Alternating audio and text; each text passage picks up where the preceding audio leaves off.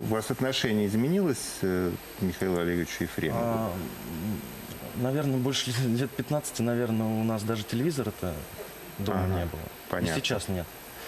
А, уже не хочу. Понятно. А, вот, поэтому как такового отношения вообще к актерам у меня, ну, актеры есть, они и есть. Понятно. Ну, то есть, как бы, обычные люди.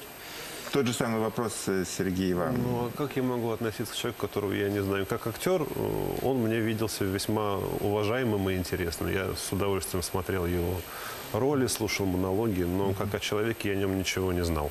Хотя вообще каждому человеку есть какое-то отношение априори, оно какое-то более или менее нейтральное. И когда человек ну, проявил себя в чем-то, в актерском мастерстве, например, проявил себя выдающимся в той или иной степени, в любом случае его есть за что уважать. Вот если говорить обо мне, то мое уважение очень сильно претерпело изменения во время процесса, и я столкнулся со многими неожиданными вещами. Там поведение и высказывания господина Ефремова оттолкнули меня от него очень сильно.